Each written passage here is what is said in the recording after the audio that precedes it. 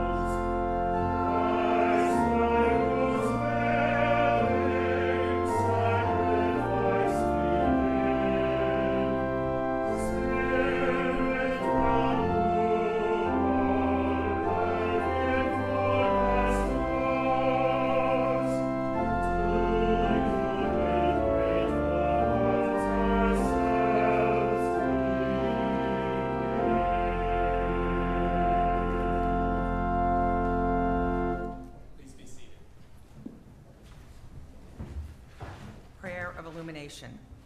Listen for God's word coming to us in Scripture. Our hearts and minds are open. I think we have our sound system sorted out now. Alex, our um, AV person, is away on vacation, so we're managing with you and me on AV duty today. So before we hear the story, uh, you heard the kids' version in uh, a couple minutes ago. What words would you all use to describe the person Moses? So who grew up watching the Ten Commandments with Charlton Heston on TV? They used to air that every Easter weekend. So, what words would you use to describe Moses? A leader? Brave. Brave.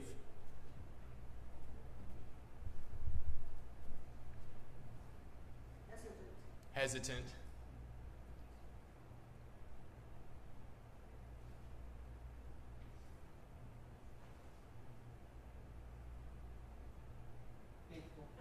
Faithful. I won't put you on the spot anymore.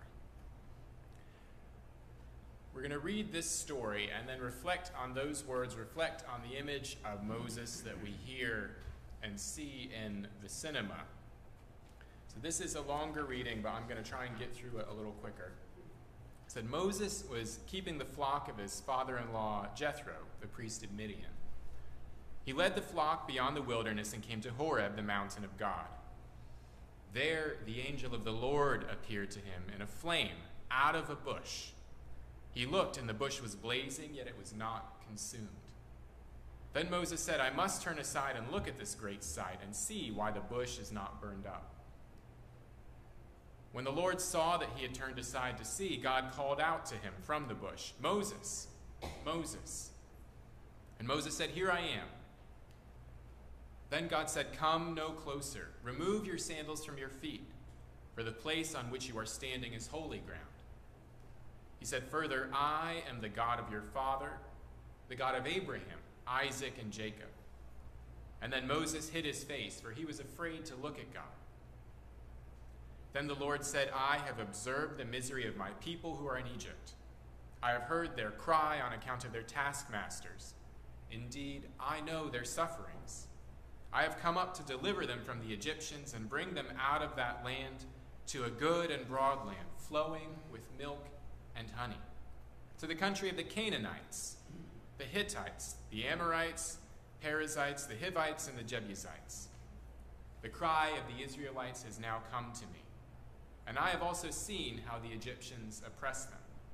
So come, I will send you to Pharaoh to bring my people out of Egypt. But Moses said, Who am I to go to Pharaoh and bring the Israelites out of Egypt? God said, I will be with you, and this shall be your sign that it is I who sent you. When you have brought the people out of Egypt, you shall worship God on this mountain. But Moses said to God, If I come to the Israelites and say to them, The God of your ancestors has sent me to you, and they ask me, What is his name? What do I say? And God said to Moses, I am who I am. He said further, Thus you shall say to the Israelites, I am, has sent me to you. And then Moses answered, But suppose they don't believe me or listen to me, but say, The Lord did not appear to you. The Lord said to him, What is in your hand? Moses responded, A staff. And he said, Throw it on the ground. So Moses threw the staff on the ground, and it became a snake. And Moses drew back from it. Then the Lord said to Moses, Reach out your hand and seize it by the tail. So Moses did. He grasped it, and it became a staff in his hand. So that they may believe the Lord, the God of their ancestors, the God of Abraham, Isaac, and Jacob, has appeared to you, do this. Again, the Lord said to him, Put your hand inside your cloak. Moses did, and when he took it out, it was leprous and as white as snow. Then God said, Put your hand back into your cloak. And so Moses did, and when he took it out, it was restored like the rest of his body. If they do not believe you or heed the first sign, they may believe the second. And if they will not believe even these two signs or heed you, then you shall take some water from the Nile, Pour it out on dry ground, and the water that you take shall become as blood on the dry ground. Moses said to the Lord, Oh my God, I have never been eloquent, neither in the past nor even now that I have spoken to you. I am slow of speech and slow of tongue. Then the Lord said to him again, Who is it who gives speech to mortals? Who makes them mute or deaf or seeing or blind? Is it not I, the Lord? Now go, and I will be with your mouth and teach you what to speak. But again, Moses said, Oh, my Lord, please send someone else. And then the anger of the Lord was kindled against Moses. And he said, What of your brother Aaron, the Levite? I know he can speak fluently. Even now he's coming out to meet you. And when he sees you, his heart will be glad. You shall speak to him and put the words in his mouth. And I will be with your mouth and with his mouth, and we will teach you what to do. He indeed shall speak for you to the people. He shall serve as your mouth for you, and you will serve God for him. Take in your hand this staff with which you shall perform the signs. This is the word of the Lord. Thanks be to God. And what kind of words would you use to describe Moses in that story? You didn't respond the first time, so I'll assume you're thinking quietly in your head. Maybe timid, reluctant, lacking in confidence, really doesn't want to do this. Moses did not want to free the Hebrew slaves. He came up with every possible excuse to try and get out of this job. Nobody's going to believe me if I go to the Pharaoh and say, Let these people go. God says, I'll be with you. Perform these miracles. Turn your staff into a snake, make your hand leprous and clean.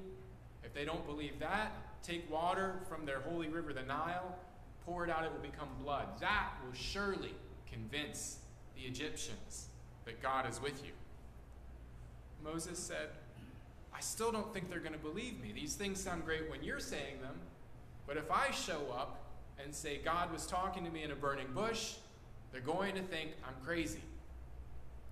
God said, Well, tell the Israelites this is the God of Abraham, Isaac, and Jacob. Tell them my holy name. I am who am. Surely they'll believe that. Moses says, Well, they might, but I'm no good at public speaking. I'm slow to think, slow on my feet. And God says, Well, guess who gave you that mouth? Guess who taught you to speak? I will be there.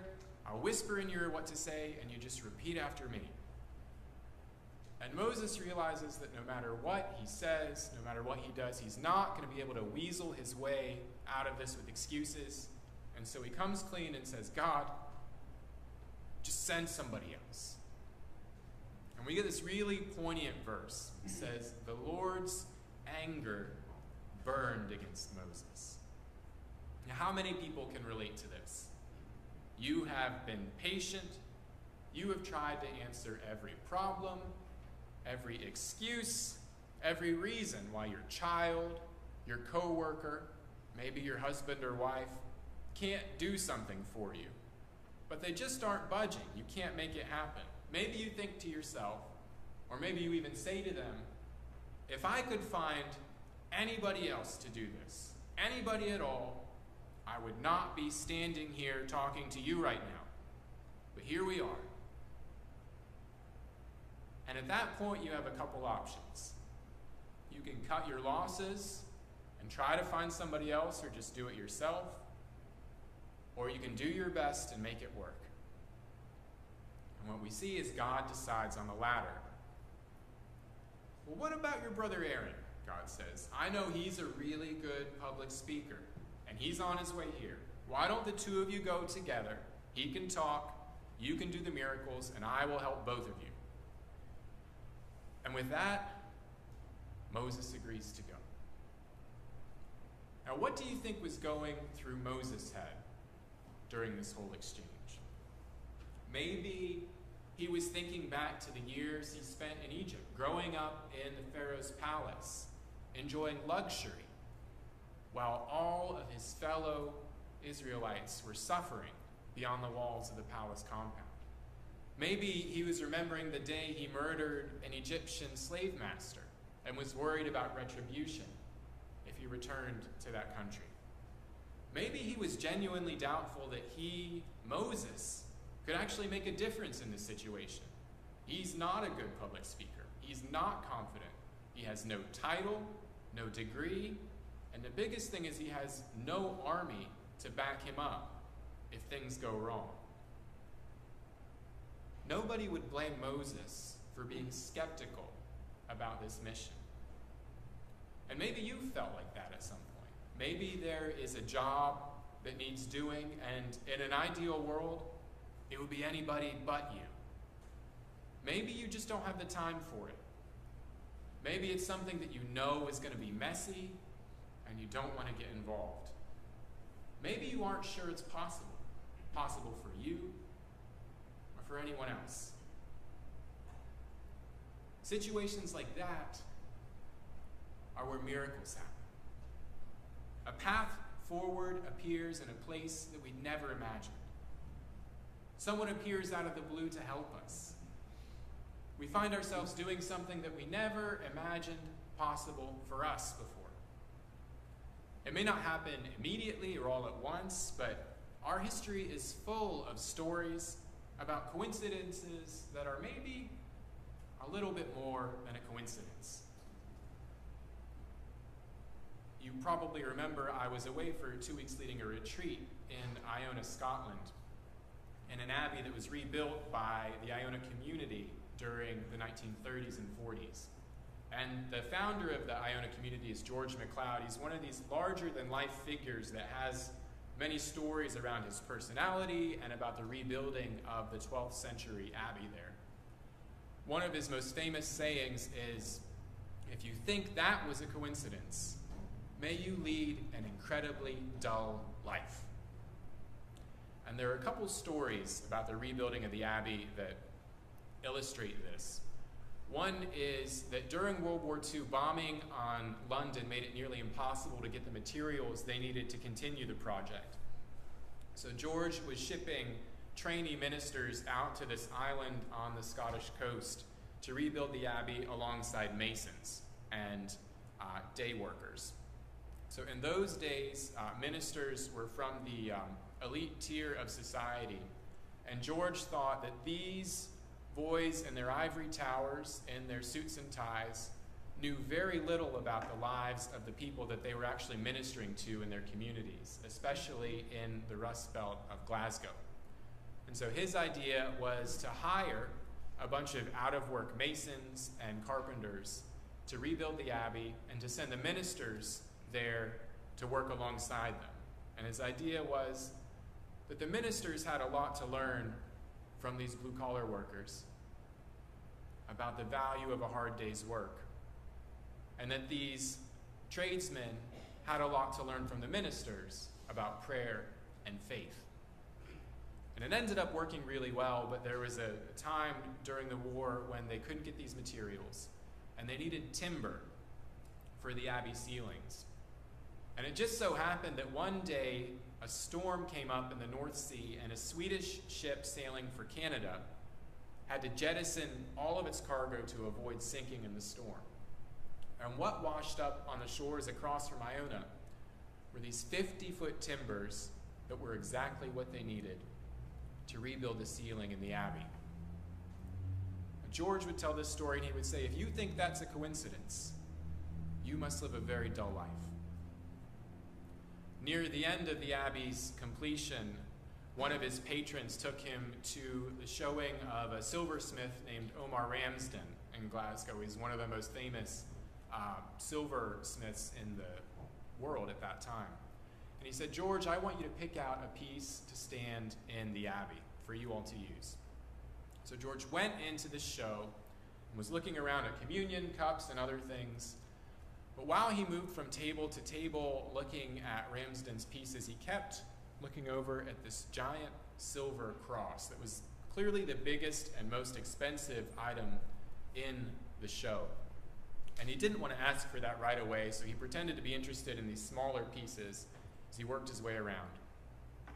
And finally, the man who was there to purchase the item for the abbey said, Well, George, get on with it. We all know you want that cross. Let's just go ask how much it costs. So they went up to the woman who was running the show. It was Ramsden's widow because he had died at that time. And they asked about the cross, and she said, Oh, no, that is not for sale. We can't sell you that piece. My husband promised me that one day that cross would stand in Iona Abbey. And with that, they took the cross and put it in the church, and it's still there today. And if you think that's a coincidence, may you lead a very dull life. This same spirit is reflected in our sacramental theology as a church.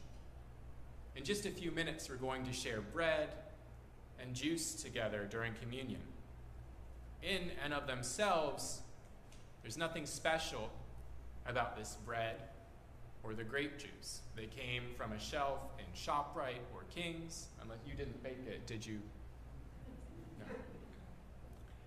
But as Christians, we believe that despite the fact that these are just ordinary bread and juice, they are able to communicate something holy to us, something about God.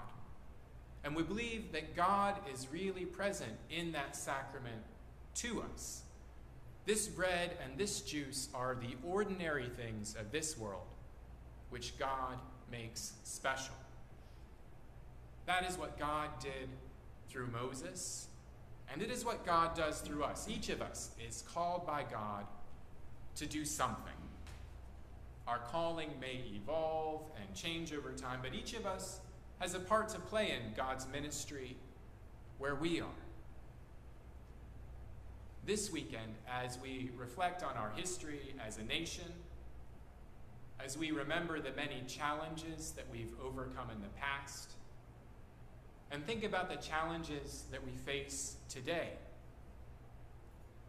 My prayer is that we might all watch closely for the burning bushes in our lives, for God's invitation to do something new, something challenging, and believe that through God, all things really are possible.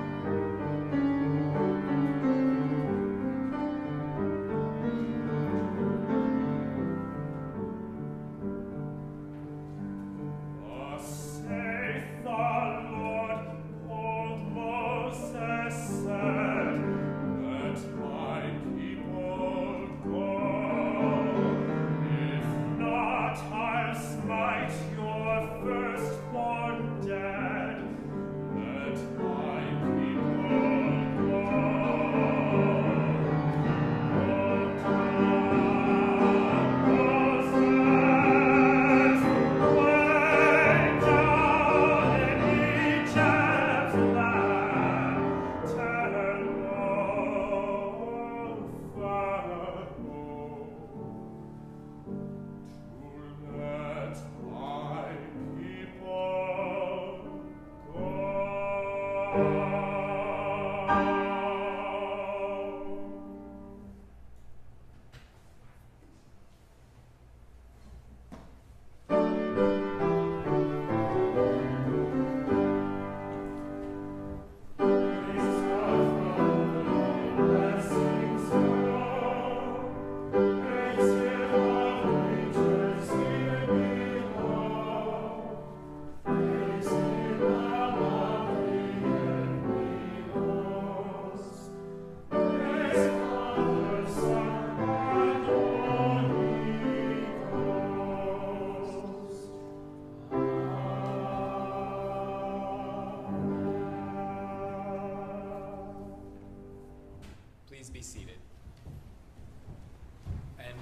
Join me in affirming our faith together using the words that are printed in the bulletin? We believe in God above us, maker and sustainer of all life, of sun and moon, of water and earth, of male and female. We believe in God beside us, Jesus Christ, the Word made flesh, born of a woman, servant of the poor, tortured and nailed to a tree. A man of sorrows, he died forsaken. He descended into the earth, to the place of death. On the third day, he rose from the tomb. He ascended into heaven to be everywhere present, and his kingdom will come on earth. We believe in God within us, the Holy Spirit of Pentecostal fire, life giving breath of the church, spirit of healing and forgiveness, source of resurrection and eternal life. Amen.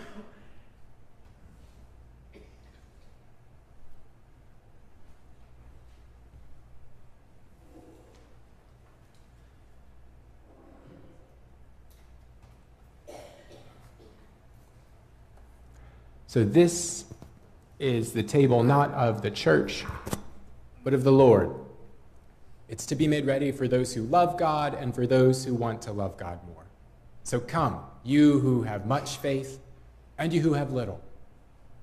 Come, you who have been here often and you who have not been for a long time. Come, you who have tried to follow and you who have failed. Come not because I invite you, but because it is our Lord and it's God's wish that those who seek would meet God here. Now let's hear the story of how the sacrament began. On the night on which he was betrayed, and as they were sitting at a meal, Jesus took a piece of bread and he broke it, saying, This is my body broken for you. Eat of it, all of you.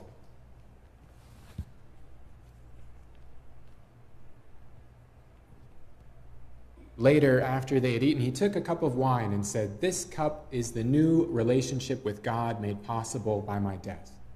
Drink of it, all of you, to remember me.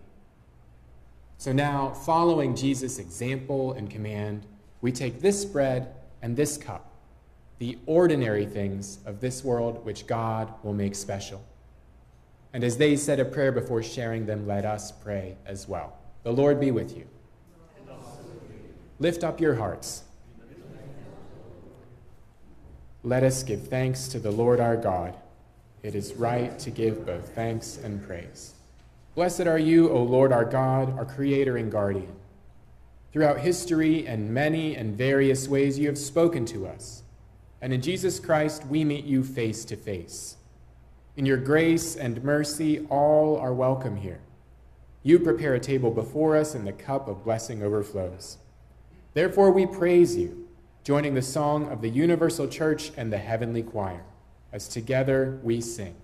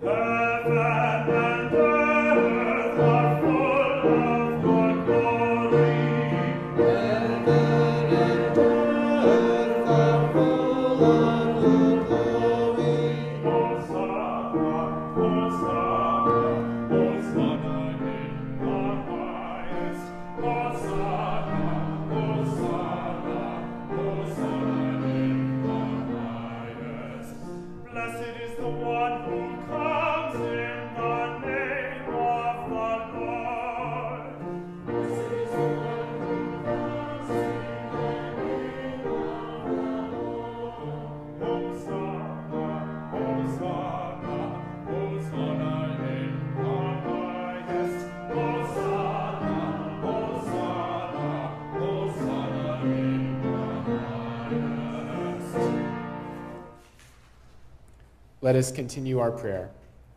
Merciful God, send now in kindness your Holy Spirit to settle on this bread and this cup, and fill them with the fullness of Jesus, letting that same Spirit rest on us, converting us from the patterns of this passing world until we conform to the shape of Him whose food we now share.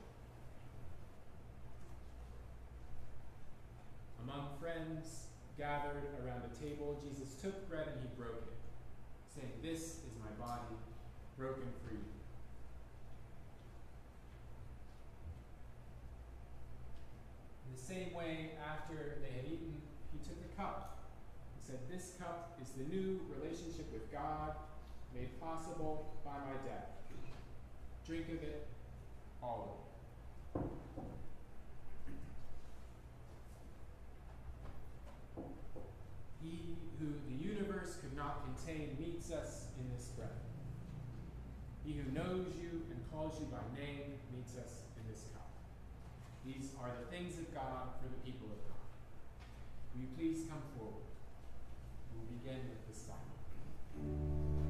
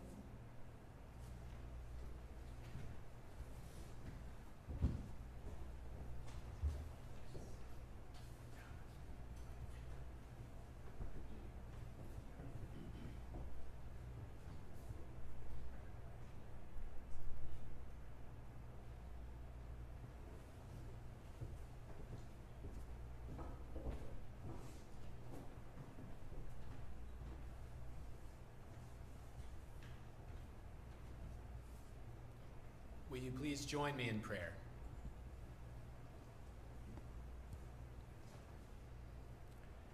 Generous God, we thank you for the many blessings we enjoy as members of your family. This morning, we are especially thankful for your words of challenge, calling us to reflect on our faith and how it impacts our lives today.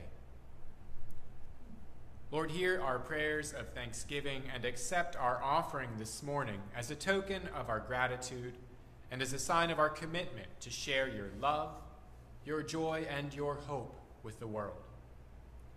We ask now that you would hear our prayers for ourselves and for others. We pray for those who on this holiday weekend are traveling. May they have patience and safety on their journeys. And may those who encounter trouble along the way find help and support quickly. As we look forward to the 4th of July, we remember the many people who have died in service to our country and the ideals upon which it was founded. We also recognize that for some people, life, liberty, and the pursuit of happiness still feel a long way off. Bless the leaders of our government, both here in New Jersey and in the United States. Give them wisdom as they make difficult decisions, patience when they encounter conflict, and hearts for justice as they look after the people and resources of our country.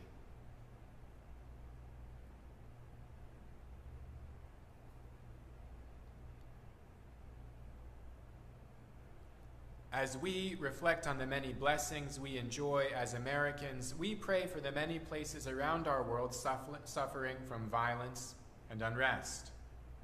For Ukraine, Israel Palestine, Libya, Afghanistan, and Yemen.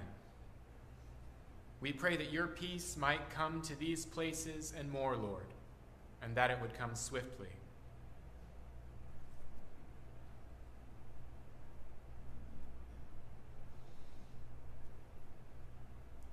And Lord, we pray for our church family and for those dear to us. We remember them and name them now in the silence.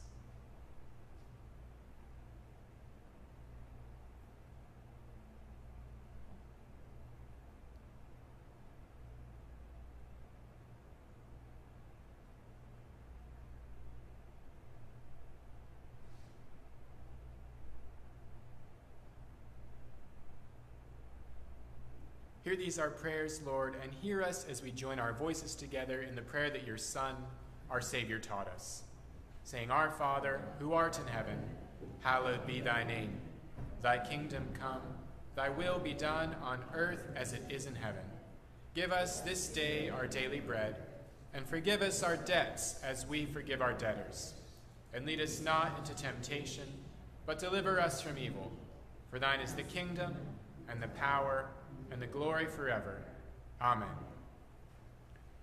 Joseph, before we hear you play the last hymn, I want to say a word of thanks and blessing to you and to Reed for all that you have brought to our church family over the last year.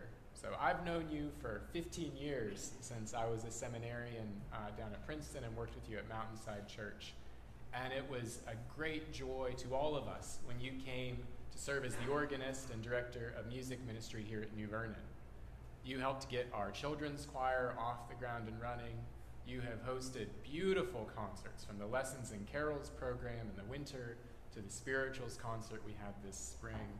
And every week you're playing on the organ, and the gifts of the choir that you direct are a blessing and a great enrichment to our worship. And it's very hard for us to say goodbye to you today uh, as you play your final pieces with us. We are sad to see you go, but we also know that as you become the director of music at St. Peter's University, this is a big step up for you and a wonderful opportunity as well. And we send you with our blessings and every good wish as you start this new chapter in life. And you have a new house, a new job, and we look forward to hearing how everything goes, to seeing pictures of your newly remodeled music room, and uh, having you come back and play the organ for us every once in a while. So I know the congregation joins me in sending you their thanks and their warmest wishes. Thank you very much.